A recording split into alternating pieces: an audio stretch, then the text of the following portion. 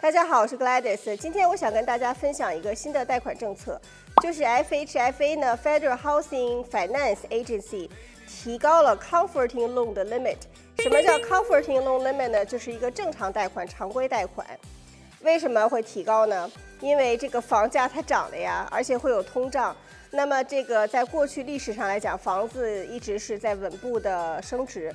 那么这个贷款的金额呢，就是从了二零二二年去年的六十四万七千两百，涨了差不多八万块钱，变成了七十二万六千两百块。针对不同的地区呢，比如说阿拉斯加和夏威夷，因为这两个城市这个房产的均价相对于全国的水平较高，他们的这个 comforting loan 的 limit 就会更高一些，是大概是在一百零八万九千三百。那我们一般华人买房呢，给的首付是大概是百分之二十。所以，如果按照新的这个七十二万六千两百来算呢，那你可以大概买到九十一万美金左右的房子。这个限额为什么会提高呢？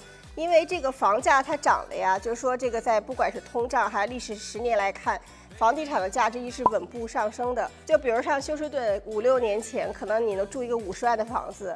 大家觉得哇塞，你家算比较有钱的，住得很好。但现在五十可能就是一个不能说中等偏低，非常中等的价格，就不是中等偏上了。那就是说你现在花五十万呢，可以买了差不多之前三十万的房子样子。另外，我想补充说明一点呢，就是房价的增长呢，跟通胀也是有一定的原因的。所谓的货币通胀呢，就是简单一句话说，你的购买力下降了。我给大家举一个特别通俗易懂的例子，比如说你去超市买菜，以前我花五毛钱可以买一板小葱。最近都要花到八毛或九毛了，那么这个就叫做购买力下降。也就是说，你花同样的金钱买的东西它少了，就叫购买力下降。接着说一下什么叫 comforting loan，也就是说呢，同一个贷款申请人，你提交了你的收入证明等等资料，如果这个你贷款的额度，注意是贷款额度，不是房屋的价格哦，小于七十二万六千两百，你就属于一个常规贷款。那如果你的贷款金额呢超过了七十二万六千两百呢，这个就叫做张狗洞。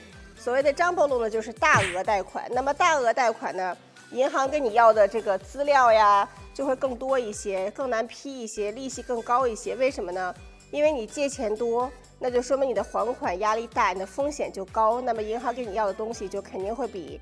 在常规范围内的贷款的资料会多很多。那么下面说一说这个提高贷款额度对你们买房子有什么影响？那么如果你生活的地区呢是东西海岸，就是均价房地产均价比较贵的城市呢，那么这个提高额度你申请贷款就会容易很多。